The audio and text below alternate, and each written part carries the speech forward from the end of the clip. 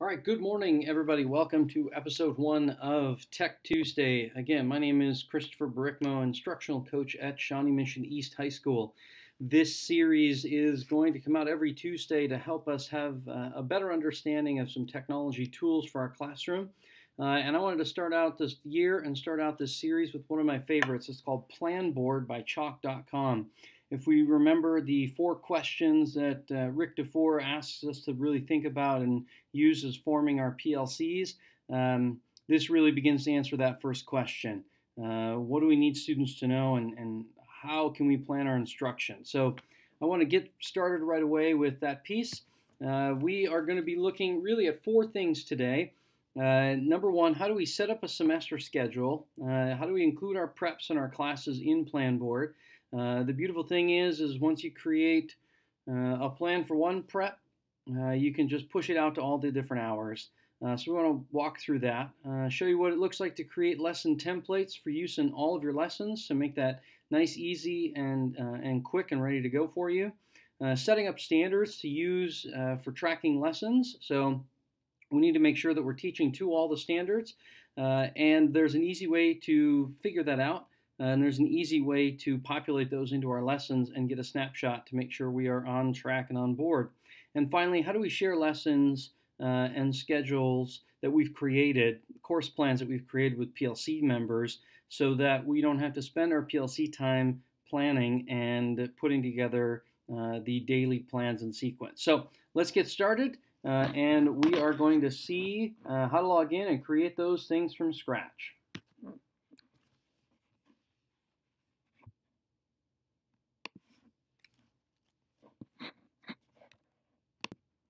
Once you are logged in, you can see here there's a lot of different things that Chalk.com offers for us, and this is the dashboard. Uh, but one of the things that we are going to work with really simply is Planboard. The first step that we need to do is create a semester. And so when we create a semester, uh, you have the option to use a previous semester and just input that information, including your lessons and resources, very helpful tool, or we can create a new semester. And so that's what we're going to do here is create uh, a new semester. Uh, we're going to name this uh, Fall Semester School Year 17-18. Uh, to make that easy, we choose our start date. So let's choose uh, that start date. We'll click our end date. Uh, nice and easy and simple. We'll get that all the way to our end date. Notice you have your days teaching. Do you teach Monday, Tuesday, Wednesday, Thursday, Friday in the semester? Or if it's a different schedule, we can indicate that there. But once we do that, we hit create and that semester uh, has now been uh, created. So the next thing we need to do is add a subject. When we add a subject, this is basically your preps. You're not adding the hours that you teach uh, and the different sections that you teach, but you're adding your preps. So we're going to use uh, this new subject here. We're going to click to edit uh, we're going to call this uh, American government. Uh, and uh, the beautiful thing about this then uh, is you can choose the color and there's already curriculum sets. Now I have inputted uh, some standards uh, from economics or America Decides or American government courses that I've taught before. So we're going to use that curriculum set. Those are the standards that are already in there. I'll show you how to add other standards uh, and create those uh, here in a bit. Uh, but now we're going to call uh, our section. So this is where you would add your hours. So let's say we have this hour one, uh, and then we might have um, hour four, and then we'll say we have hour seven. So by creating this, you can actually create one lesson uh, for your um, American government classes, and then it populates directly into those hours. So once we've created that semester, we've created the subject, we've also created uh, the sections uh, or the preps uh, and the hours. Now we just click Save, uh, and we are uh, set up. Now we can add a number of different subjects as we need them. Uh, so we're going to add um, economics as our subject here. We're going to color that one green. We're going to select the economic standards that have been inputted. uh, and uh, we're going to call that our three. Uh, and so we've got our system set up now uh, for the different classes that we do teach. Uh, and this is a great place to pause uh, and think about you know, what standards do we need to enter, what pieces do we need to make sure are in place, and how are we going to build and um, edit these lessons. So we're going to take a look at that here in a moment, but we'll get started on that one Okay, so now we have to put these into our timetable. We've got our preps, we've got our subjects. We're going to click timetable, uh, and we are now going to add these into our calendar. Uh, and this is now where we're going to create the subject um, setup in our plan book, uh, and it's going to be useful uh, throughout the rest of the semester. Now, the beautiful thing about this is you can set up when each class occurs. So at the high school level, uh, we've got um, uh, Monday, Tuesday, Friday, all seven periods, and then Wednesday, Thursday is odd, even block. So we can set those things up right here uh, as we go. So let's go to Insert Class, and we've got our subject and section. So we're going to insert Hour 1. Uh, that class start time uh, is at 740. Uh, so we can enter all of that information, including our end times, uh, and that's important, especially if you want to create a calendar to keep everything loaded together um, nice and clean. That meets on Monday, that meets on Tuesday, that meets on um, uh, Wednesday, and that meets on Friday. So those are the days in which it meets. Uh, and you can see here that we know that Wednesday's a block day, so we need to fix that a little bit. Uh, and we can change that time. It does start at 740, but because block day goes uh, a little bit longer, uh, we make that 905. Uh, and so once we've created that, it's blocked out our schedule for hour one, meeting on day one, day two, day three, and day five. Now we're going to do that for all the rest of our courses uh, to make that as uh, simple and direct as possible. Okay, so now you can see that I've got my schedule set up. I've got American Government first hour set for the block days like we showed you. I've added my economics, which would be third hour in our high school calendar. Uh, I've added American Government fourth hour, uh, and you can see here that the block schedules are in the appropriate spot, and my American Government seventh hour has been added, and that block schedule has changed. Once you've done that, make sure you hit save every single time you uh, enter something in here because it's a cloud-based program, uh, you need to hit save uh, so that it keeps it saved uh, for you. There have been times where I've made something and all of a sudden I got lost, and so we need to make sure that those are are there for us as we work.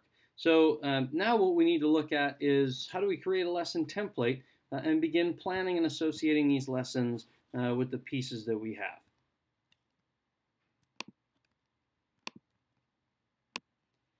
Now if we go over here uh, to our menu button, uh, we're going to scroll down to templates in Planboard. Uh, and once we get to templates, uh, you can see that uh, I've already created a general lesson template that I use most often. But if we need to add a new one, you just click that plus, uh, and we begin to add our pieces in here. This becomes a really important tool uh, because once you've created this template, you can now use it in all of your lessons. So I've got objectives, I've got resources, technology, different content notes or assessments.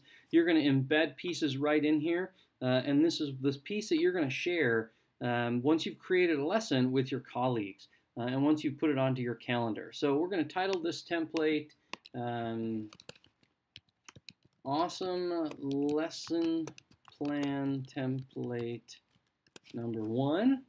Uh, and we then, it's saved, we're going to assign this to classes. So because we are in fall semester, uh, in the class that we created, we can click uh, and we can assign that lesson template to the particular classes that we need. If you have different template for science class uh, than you do, or for biology class than you do for chemistry, you can create different templates. If you have different ones for different levels, you can create those.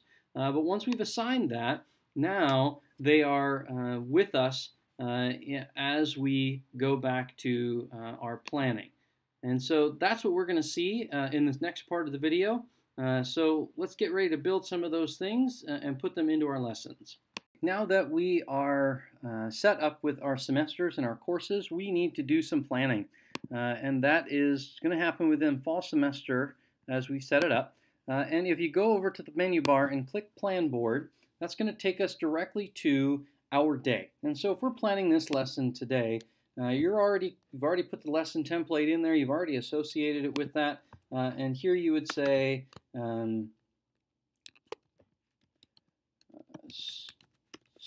students will be able to identify, pardon my spelling, uh, the major sections of the Bill of Rights.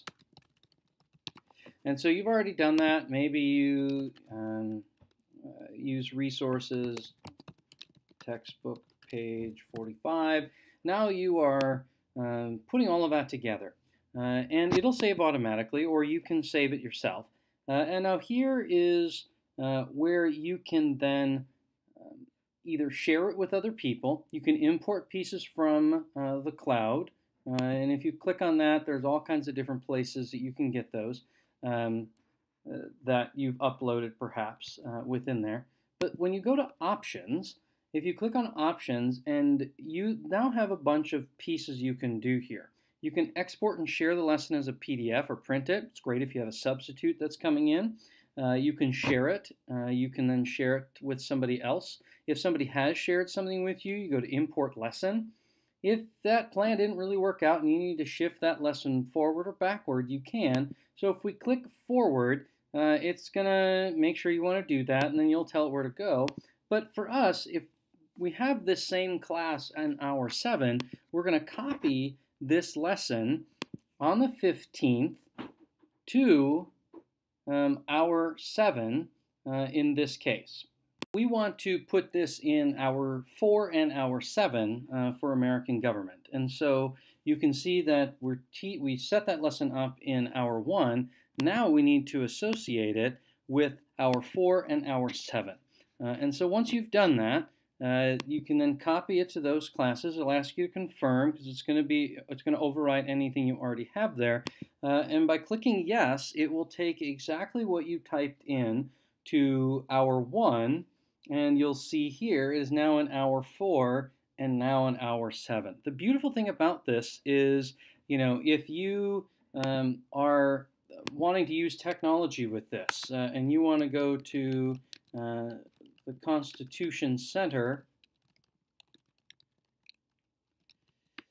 you can create those links within there. You can upload files from Google Drive in there. You can keep everything like a YouTube video linked in there, and then it will copy down to all of those other pieces. Now, I want to point out, if you make an edit in one, notice hour one, I added that technology piece, but if you make an edit in hour one, it will not show up unless you copy it again uh, to those particular classes. So we want to copy it again to hour 4 and hour 7. It's going to overwrite that content, uh, and then that is going to be uh, all in place for us. So all of our American government hours have the lessons ready to go. The other thing that I want to point out here is the unit. So if you want to create and organize these things, you know, maybe you're typing in um, you have your units already organized, but we're in Unit 1, um, and uh, we're going to call that Foundations of Government, and we create that. Now, Unit 1 is going to be a tag that we can associate with any of these lessons. So again, notice it is not in this part here, but we can go through and we can click to make sure that it is in Unit 1. Uh, and if you want to do an economics lesson, you can create a new unit for economics. Uh, we'll call this uh, an economic uh, way of thinking. And when we create that unit, now any other lessons that we associate with that are going to be uh, tied to that. So what we now need to do and what we now need to look at are the standards. And so we've set up our semesters, we've done some planning, um, there are some different views, by the way. Let me show you this. Uh, there is a way that you can view the week. You got Monday, Tuesday, Wednesday, Thursday, all of your lessons are right there. This is your lesson plan book uh, on paper that is now on your screen. You can also look by month and see what lessons are there and what lessons are being covered. Uh, and then you can look by unit. Uh, and if we take a look uh, at American Government Hour 1, there are one units, and these are the lessons that we have tied to those units. You could, you know, click on all lessons that are tied to Unit 1, uh, and then you're going to see that's the lesson that we have there. Uh, so there are some really beautiful tools uh, that we have here in terms of planning, uh, and uh, so let's take a look at the final piece, which is standards. Um, I have already uploaded my standards in here, uh, and if you take a look, there's our American government standards that I've you know created with my PLC and these essential questions. If we look at one, you know, unit one, we really have five anchor standards or questions that we need people to be able to answer. Uh, and so we can either use ones that are created for us or write our own. But if we are going to add new standards, you're going to hit that upload button uh, and we are going to um, call this, um, we'll call this civic framework. Uh, and that is a new set of standards that we have created, a civic framework. Uh, and so if we want to add an item, right, we click that add another item, and here we're going to click, you know, code 1A because we're doing this in unit 1. Um, students will be able to identify founding documents and their importance. Here now, we've created that standard. It's in there under Civic Framework. Um, you would be able to see all of these here. My suggestion is keep that code simple. Um, maybe the unit number, and then uh, another code that's associated with that. Because now what we can do is we can go back to our plan board and we can go back to our lessons that we have here. Uh, and now we click to edit. And when we click to edit, we can add standards. So here, um, because we've tied this to American government, I've already entered some standards, right? This was a Bill of Rights lesson. Um, so we are going to uh, maybe talk about, we can associate 1D with this. How have systems of government evolved over time? Uh, sorry, uh, how they might compare different rights. However we want to put this in there, we're going to add 1D. You can add multiple. You know, we can add 1D and 1E, and we save that, and that only is associated with this one lesson, but we're looking at 1E and 1D. Now, again, we want to copy that to these other lessons from that day on those hours. We copy it and overwrite those pieces, and now we are updated and uploaded and we can see that our standards are being addressed here uh, and they have transferred over to these other ones. So I really hope that this gives you uh, a sense uh, of the power that we have with this platform. Uh, to bring it back a little bit, remember what we're looking at is we wanted to set up a semester schedule on our preps and classes, create those templates, set up standards to track those lessons, and then share those lessons with our PLC team members. Uh, I really hope that this was uh, an effective time for you, uh, and uh, we'll do a Plan Board 2.0 uh, Tech Tuesday coming up soon. hope you learned something and look forward to some more learning on Tuesdays.